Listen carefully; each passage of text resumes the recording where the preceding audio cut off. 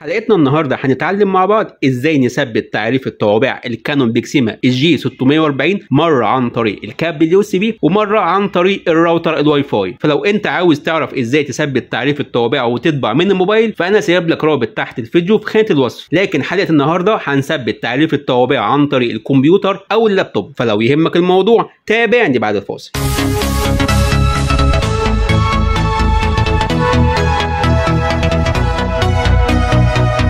السلام عليكم ورحمة الله وبركاته. ازيكم إخواني عاملين إيه؟ أخباركم إيه؟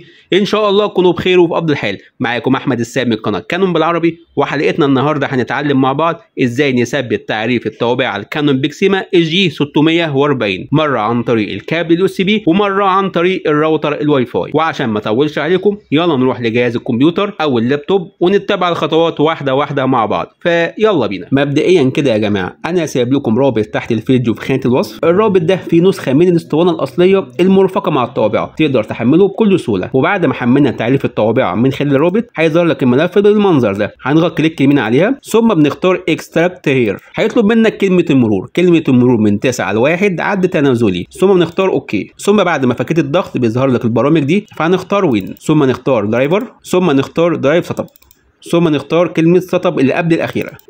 ثم نختار yes ثم بنختار next ثم بنختار القارة اللي انت موجود فيها. تمام؟ next. ثم نختار yes. ودلوقتي حالا بتوصل كابل ال USB الواصل بين الطوابع والكمبيوتر أو الطوابع واللابتوب. وهنا بتعلم على الطوابع دي ومكتوب عليها USB أهم حاجة مكتوب عليها USB ثم نختار next.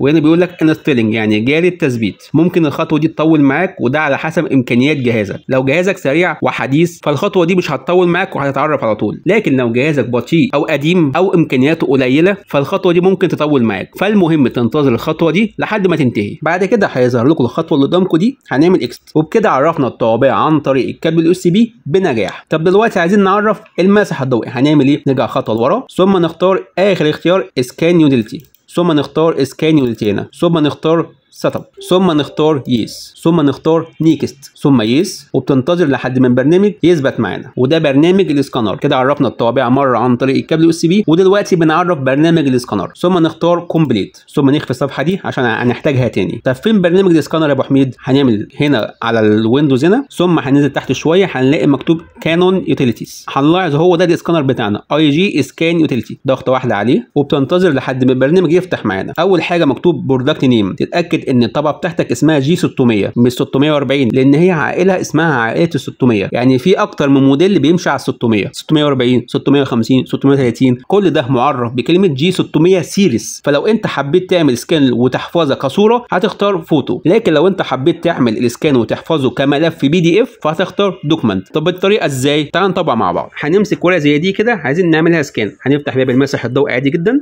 وتحط الورقة كأننا هنصورها اهيت في الزاوية دي.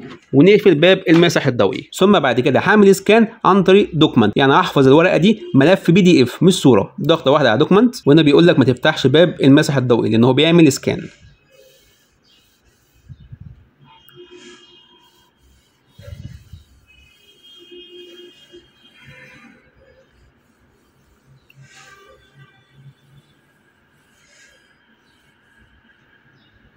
وهنا بيقول لك عايز تعمل scan لورقة تانية وتحفظها في نفس ملف ال PDF والاختيار ده ما بيظهرلكش غير في حالة واحدة بس. لو انت بتعمل scan ل PDF تقدر تحفظ أكتر من ورقة أو أكتر من صورة في ملف ال PDF لو في ورقة عايز تحفظها في نفس ملف ال PDF بتحطها وبتعمل scan لكن لو هي ورقة واحدة بس بتعمل exit ولازم تبقى محمل عندك برنامج ال PDF لأن من غيره الملف مش هيفتح. طب دلوقتي أنا عايز أعرف الملف ده اتحفظ فين؟ هتخش هنا على اللي هو أحمد السيد اللي هو عندك document هنا ثم هنختار documents هتلاحظ الملف بتاعك بتاريخ اليوم اللي اتعمل فيه scan زي ما ظهر قدامك اهو 28 شهر 1 سنة 2023 يعني ملف ال scan بيتحافظ بتاريخ اليوم اللي بيتعمل فيه scan وزي ما أنتم شايفين دي الصورة اللي إحنا عملنا لها scan وعملنا لها scan واتحفظت في ملف PDF طب دلوقتي أنا عايز أعمل scan أو مسح ضوئي لصورة مش ملف PDF هعمل إيه؟ هنفتح باب المسح الضوئي ونحط الورقة زي ما اتعلمنا بالظبط. ثم نختار فوتو ضغطه واحدة عليه. ما تحاولش تفتح باب المسح الضوئي عشان أي نور هيضرب في الاسكانر هيطلع لونه أسود. وعلى طول بيفتح لك المكان اللي بيتحفظ فيه الصورة. وبنفس تاريخ النهارده هنفتحها عادي جدا اهي زي ما أنتم شايفين دي الصورة اللي إحنا عملنا لها scan مرة عن طريق ال PDF ومرة عن طريق ال JPG اللي هي الصورة. وبكده اتعلمنا إزاي نعرف الطوابع ونعرف السكانر عن طريق الكابل ال USB ودلوقتي هنتعلم مع بعض إزاي إزاي نعرف الطوابعه بالراوتر الواي فاي وبعد كده نعرف اللابتوب بالطوابعه بس الأول لازم تدخل كلمة المرور واسم المستخدم بتوع الراوتر الواي فاي في الطوابعه عشان تقدر تدخل الطوابعه جوه الراوتر وأي حد يبحث عليها يلاقيها. والخطوات كالتالي. هنختار زرار صيانة ضغطه واحدة ثم نختار أول اختيار Wi-Fi setup OK. ثم نختار تاني اختيار manual connect OK. وهنا بيبحث على شبكة الراوتر اللي موجودة عندك. أنا الراوتر بتاعي مسميه باسم كانون لو هو مش موجود أول اختيار بتقدر تبحث عليه من الاتجاه اليمين والشمال. فأنا هختار الراوتر بتاعي. OK. OK مرة أخرى. وهنا بيقول لك دخل كلمة المرور طب كلمة المرور بندخلها إزاي؟ شايفين ال a ديت معناه إن كل حاجة هتكتبها هتبقى بالحروف الصغيرة اللي هي السمول وعشان تكتب الحرف بالاتجاهات ده. يعني A B C D. عايز تختار الحرف المناسب ليك بتختار OK. تمام؟ وهكذا. طب افرض دلوقتي الحروف بتاعتي فيها أرقام وفيها رموز وفيها حروف كبيرة اللي هي ال capital هنعمل إيه؟ زرار الصيانة ده ضغطه واحدة عليه زي ما أنتم شايفين اتحولت لإيه كبيرة؟ ضغطة واحدة كمان اتحولت لأرقام ضغطة واحدة كمان اتحولت لرموز. طب هندخل كلمة مرور إزاي؟ أنا دلوقتي كلمة مرور الراوتر عندي كلها حروف كبيرة والباقي أرقام. هنعمل إيه؟ هختار حروف كبيرة. أهي. أنا عايز دلوقتي حرف ال N في الاتجاه ده لحد ما يجي هنا حرف ال N أهو زي ما أنتم شايفين كده. أهو. عايز حرف ال N هعمل إيه؟ ضغطة واحدة OK. الشرطه هنا اتحولت لجنبها. اكتب بقى الحرف اللي بعديه. عايز حرف ال O أهو. OK. عايز حرف ال O مرة أخرى. OK مرة أخرى. عايز حرف ال R هنبحث على حرف ال R تمام؟ لقينا حرف ال R OK. الباقي بقى أرقام. هنعمل إيه؟ ضغطه واحدة تحت كده لحد ما رقم واحد ظهر. عايز رقم اتنين. هنمشي كده. رقم اتنين. OK. عايز أصفار. هنمشي الاتجاه ده كده. تمام؟ ونختار صفر. دخلت كلمة المرور بالطريقة الصحيحة. هتثبت صباعك على زرار ال OK. كده.